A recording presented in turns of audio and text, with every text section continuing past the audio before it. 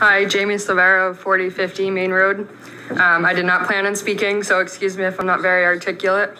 Um, the first thing I wanted to touch upon was just what was being talked about um, in the negative light that's being shown on um, vacation rentals right now. My family started their business. My mom's right in the back.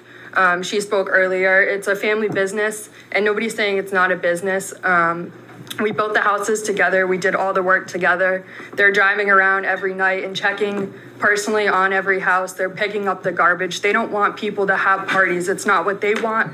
It's not what you guys want. It's a collective um, effort that needs to be. Everyone needs to realize that they're on the same team. My parents do not want the people coming in from out of town and trashing the houses. It's not their goal.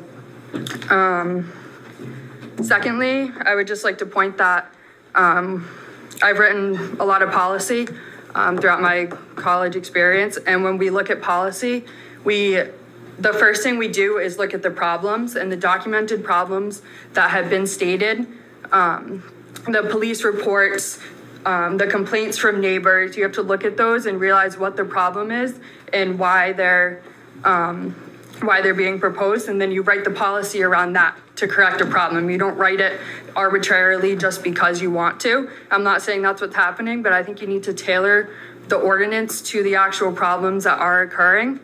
Um, and lastly, as my mom says, um, back when we started this conversation 15 months ago, Nicole Andres Cavage, sorry if I messed up the name, um, a lawyer hired by this town, currently stated that the town cannot prohibit STRs outright based upon the Rhode Island law.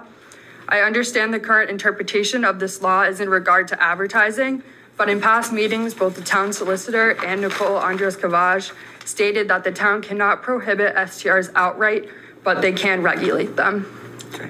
Thank you.